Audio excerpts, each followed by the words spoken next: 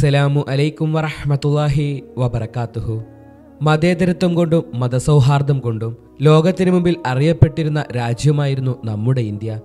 എന്നാൽ ഇന്ന് പലയിടങ്ങളിൽ നിന്ന് നമുക്ക് കേൾക്കാൻ സാധിക്കുന്നത് വർഗീയതയും അക്രമങ്ങളും പരസ്പരം മതം പറഞ്ഞുള്ള പ്രശ്നങ്ങളും മാത്രമാണ്.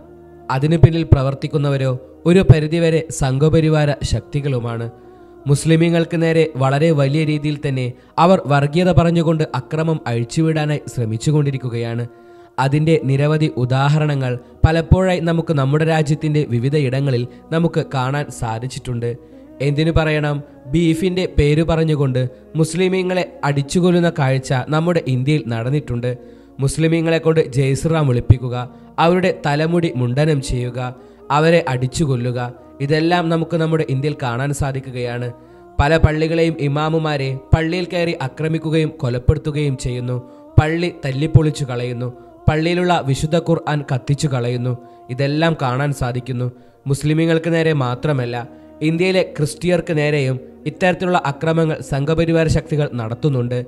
ക്രിസ്ത്യ ദേവാലയം അടിച്ചു തകർക്കുകയും അവയ്ക്കുമേലെ ജയ്സ്റാം വിളിച്ചുകൊണ്ട് അവരുടെ കാവിക്കൊടി നാട്ടുന്ന കാഴ്ചയെല്ലാം നമുക്ക് കാണാൻ സാധിക്കുന്നു.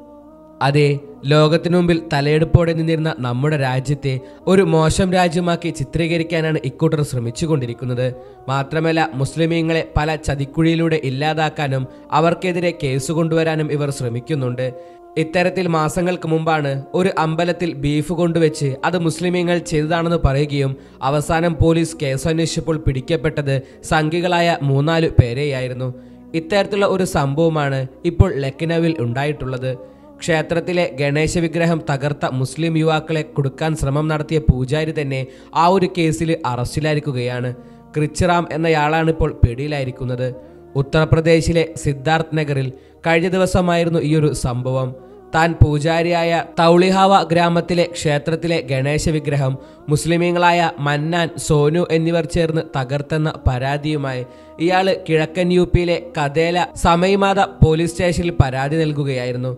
ഇരുവരും തനിക്ക് നേരെ ഭീഷണി മുഴക്കിയെന്നും തന്നെ പൂജ ചെയ്യാനോ കീർത്തനം ചൊല്ലാനോ സമ്മതിച്ചില്ലെന്നും ആരോപിച്ച ഇയാൾ തന്റെ ഭാര്യ ഇടപെട്ടപ്പോൾ അവരെ ഇടിക്കുകയും ചവിട്ടുകയും ചെയ്തുവെന്നും പരാതിയിൽ പറയുകയുണ്ടായി. ഇതോടെ ഒരു വിഭാഗത്തിന്റെ മതത്തെ അവഹേളിക്കുക എന്ന ഉദ്ദേശത്തോടെ ഉപദ്രവിക്കുകയും ആരാധനാലയം അശുദ്ധമാക്കുകയും ചെയ്തെന്ന കുറ്റം ചുമത്തി പോലീസ് ആ ഒരു രണ്ട് മുസ്ലിം യുവാക്കൾക്കെതിരെ കേസെടുത്തു. സംഭവം വർഗീയ ചേരിത്തിരിവിലേക്ക് നീങ്ങിയതോടെ സബ് ഡിവിഷണൽ മജിസ്ട്രേറ്റ് അടക്കമുള്ളവർ സ്ഥലം സന്ദർശിക്കുകയും പ്രത്യേക പോലീസ് സംഘത്തെ തുടരന്വേഷണത്തിന് നിയോഗിക്കുകയും ചെയ്തു. തുടരന്വേഷണത്തിൽ എന്തെന്ന് വെച്ചാൽ പൂജാരി തന്നെയാണ് വിഗ്രഹം തകർത്തുന്നത് ബോധ്യമാവുകയും സംഭവത്തിന് സാക്ഷികളായ കുട്ടികളെ കണ്ടെത്തുകയും ചെയ്തു. ഈ സമയത്ത് പ്രദേശത്ത് കളിക്കുകയായിരുന്ന കുട്ടികളാണ് ഈ ഒരു കാര്യം വെളിപ്പെടുത്തിയത്. മന്നാനുമായും സോനുമായും മുമ്പും ഇയാൾ ഇത്തരത്തിൽ വഴക്കുണ്ടാക്കിയെന്നും അവരെ ഇനിയും കേസിൽ കൊടുക്കാനായിരുന്നു തന്റെ ശ്രമമെന്നും പോലീസിനോട് പൂജാരി തുറന്നു പറയുകയും ചെയ്തു. ഇയാൾക്കെതിരെ നിയമ നടപടി ഉണ്ടാകുമെന്ന് പോലീസ് പറഞ്ഞിട്ടുമുണ്ട്. കണ്ടില്ലേ? ഇതാണ് നമ്മുടെ ഇന്ത്യയിലെ അവസ്ഥ. മുസ്ലിമീങ്ങളെ കൊടുക്കാനായി സ്വന്തം അമ്പലത്തിലെ പൂജാരി തന്നെ ആ അമ്പലത്തെ വിഗ്രഹം തല്ലിപ്പൊളിക്കുകയും അത് മുസ്ലിമീങ്ങളുടെ തല്ലിൽ കെട്ടിവെക്കാനും ശ്രമിക്കുന്നു. എന്നാൽ എന്തോ ദൈവത്തിന്റെ അത്ഭുതം എന്നോണം ആ ഒരു കുറച്ച് കുട്ടികളാണ് പൂജാരി തന്നെ ആ ഒരു വിഗ്രഹം തകർക്കുന്ന കാഴ്ച കാണാൻ സാധിച്ചത്. ആ കുട്ടികളുടെ കണ്ണിൽ ആ ഒരു കാഴ്ച ദൈവം തന്നെ കാണിച്ചു കൊടുത്തതായിരിക്കാം. കാരണം നിരപരാധികളെ കൊടുക്കാതിരിക്കാൻ ഇല്ലായിരുന്നുവെങ്കിൽ അങ്ങനെ ഒരു തെളിവ് അവിടെ വന്നില്ലായിരുന്നുവെങ്കിൽ തീർച്ചയായും ആ രണ്ട് മുസ്ലിം യുവാക്കൾ ചിലപ്പോൾ സംഘപരിവാര ശക്തികളാൽ തന്നെ കൊല ചെയ്യപ്പെടുമായിരുന്നു. അല്ലെങ്കിൽ പോലീസുകാർ അവരെ തുറുങ്കിലെടുക്കുമായിരുന്നു. എന്നാൽ അവിടെ ദൈവത്തിന്റെ പ്രവൃത്തി നടന്നതുകൊണ്ട് തന്നെ അവർക്ക് രക്ഷ നേടാനായി സാധിച്ചു. ഇതാണ് നമ്മുടെ ഇന്ത്യയിൽ ഇപ്പോൾ നടന്നുകൊണ്ടിരിക്കുന്നത്. മുസ്ലിമീങ്ങളെ എങ്ങനെയെങ്കിലും വർഗീയത പറഞ്ഞ് ഈ രാജ്യത്തു നിന്ന് തുടച്ചു നീക്കാൻ ശ്രമിക്കുമ്പോൾ എന്നാൽ അത് നിങ്ങളുടെ വ്യാമോഹമാണെന്ന് വീണ്ടും വീണ്ടും നിങ്ങളെ ഓർമ്മിപ്പിക്കുക മാത്രം ചെയ്യുന്നു. അള്ളാഹു സുബാന തല വർഗീയവാദികളെ തൊട്ടും അക്രമകാരികളെ തൊട്ടും നാം എല്ലാവരെയും കാത്തുരക്ഷിക്കുമാറാകട്ടെ. ആമീൻ. ഈ വീഡിയോ നിങ്ങളിലേക്ക് എത്താൻ കാരണമായവർക്ക് വേണ്ടി പ്രത്യേകം ദ്വാക്ഷണം എന്ന് ഉറപ്പെടുത്തി മറ്റൊരു വീഡിയോയുമായി നമുക്ക് പിന്നീട് കാണാം. ദ്വാവസ്യത്തോടെ അസ്സലാമലൈക്കും വറഹമത്തല്ലാഹി താല വബർക്കാത്തുഹു